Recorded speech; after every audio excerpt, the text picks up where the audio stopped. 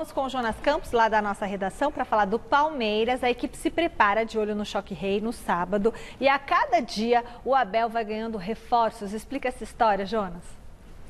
Pois é, Michele. Inclusive, essa é uma semana muito atípica no Palmeiras. O Palmeiras tendo uma semana livre para trabalhar. Isso não acontecia há quase sete meses. Aliás, a última vez que isso aconteceu foi antes daquele jogo pela Libertadores semifinal contra o River Plate na Argentina, que o Palmeiras, depois de uma semana livre, meteu 3 a 0, colocou um pé na final aí da competição continental. Então o Abel agora voltando a ter uma semana livre. O São Paulo que se cuide, mas claro, as novidades são boas, né? O Jorge, recém-contratado, contrato inclusive até o fim de 2025. O jogador que veio do Mônaco já frequenta a academia de futebol, mas ainda tem um tempinho, uma fase final de recuperação de uma cirurgia no joelho. O Borja, né, como a gente mostrou ontem no Gazeta Esportiva, também já frequentando a academia de futebol, treinando parte com grupo, né, e parte separado com alguns jogadores que vão aprimorando a parte física.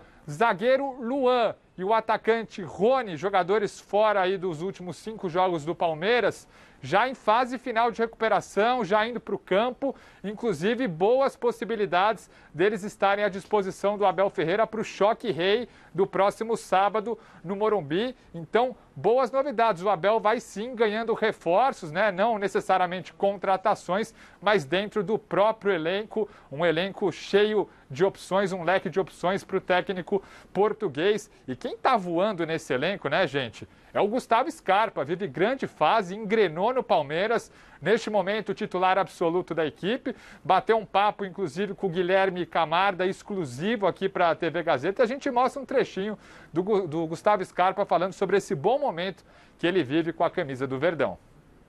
Eu passei por momentos tanto quanto complicados aqui no Palmeiras e poder, depois de, de um bom tempo, ter uma sequência é, muito boa de jogos, tanto coletivamente quanto individualmente, para mim é gratificante.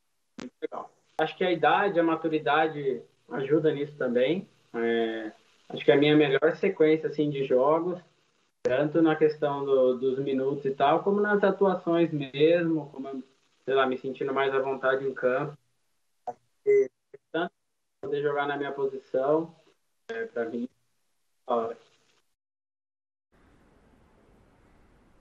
Aí o Scarpa, né, gente, tá voando baixo aos 27 anos, vivendo um grande momento, uma grande sequência aí na equipe do Palmeiras. O Luiz Adriano, que eu não citei no início, ele está um pouco mais atrás de Luan e Rony, por exemplo, ainda deve esperar mais um pouquinho para voltar a campo, para voltar a ficar à disposição do técnico Abel Ferreira.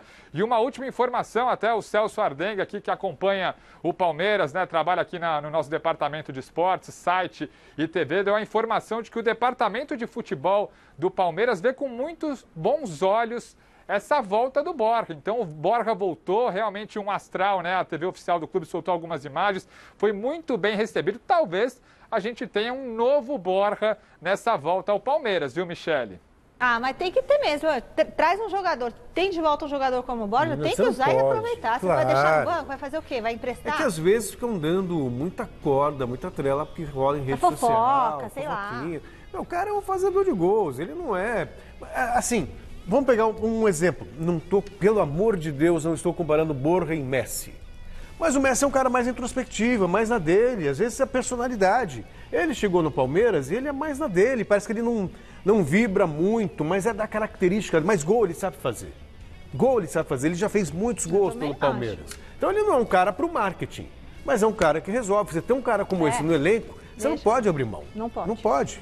É, é questão de saber o que ele quer da vida. Se ele quer jogar no Palmeiras, tem que aproveitar porque é jogador do Palmeiras. Em tempo, parabéns, Abel.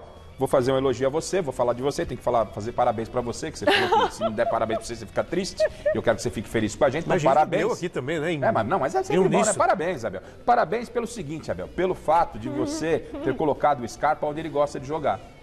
O Scarpa disse há pouco aí, eu estou jogando na posição aonde eu posso render mais. Até sorriu. Isso é o mérito seu. Isso é mérito seu. Tem claro. que tirar o chapéu. Porque o treinador, Michele, o líder, o comandante, ele tem que extrair dos seus comandados o melhor. O melhor. E aí ele tem que chegar a saber, ô, ô Celso, você pode render melhor de que forma? É isso aí. Aonde você vai melhor? Quando você fica mais à É, vontade. quando você fica mais à vontade. Esse é o papel do Pela técnico. O direita. técnico está aí para isso. Sensibilidade. É o verdade. técnico está aí para isso, para observar, pô, esse cara aqui, o que está acontecendo? Tem um mais introvertido, você traz o cara para uma conversa, tem aquele mais expansivo, você chega e falou, dá uma seguradinha que está passando do ponto. Esse é o papel do técnico. E com o Scarpa, ele agiu muito bem, colocou o Scarpa onde ele se sente à vontade, o cara está jogando muita bola. Né? E o Tite, que tem, obviamente, o grupo fechado, eu não vejo por que não levar o Scarpa, não convocar o Scarpa. Né? Estamos em eliminatórias, o time tá, a seleção está praticamente fechada. Mas a gente não tem hoje na seleção um cara que pensa jogo como Scarpa. Acho que merecia uma oportunidade. Já esteve na seleção, é verdade. Mas nessa fase eu acho que vale. O Rafael Veiga fez algo parecido com o Luxemburgo. O Luxemburgo também chegou a colocar o Rafael Veiga jogando aberto pelo lado esquerdo. O Rafael Veiga chegou pro professor e falou assim, professor, nessa eu não, não me Isso. sinto bem e tal. Então você vai ter que aguardar uma oportunidade. Foi pro banco, esperou a E o oportunidade técnico dele, também, Celso, tem que oportunidade dar veio. liberdade para o jogador, quando não se sentir à vontade, É falar. claro. Oportunidade Tipo, não veio é que eu não veio- quero ajudar, é que eu não me sinto Isso. confortável Mas a oportunidade dele veio com o Luxemburgo mesmo? Quem? Com o Rafael Veiga? Sim, o- já estava, né? O Rafael Veiga já estava, o Scarpa já estava. É, porque às vezes também vai que o treinador fica de biquinho. É, mas é, o o bom jeito tre- que você vai O bom falar, treinador é o Claro. bom comandante, é aquele que, Sabe que gerir. fala e que sabe É. ouvir também. Não É adianta só. Muito bom. Aliás, a entrevista completa, exclusiva com o Scarpa, você confere este domingo no Mesa Redonda Futebol Debate, tá? Mestre, a gente já pode dizer que o Palmeiras tem o melhor time, o melhor elenco também do Brasil? O melhor elenco, sem dúvida. Agora, o melhor time ainda é o Flamengo. Isso é a minha opinião. Essa questão do Veiga e do Scarpa é muito significativa. Sabe por quê? Porque os dois passaram a jogar quando o Palmeiras deixou de ter dois volantes.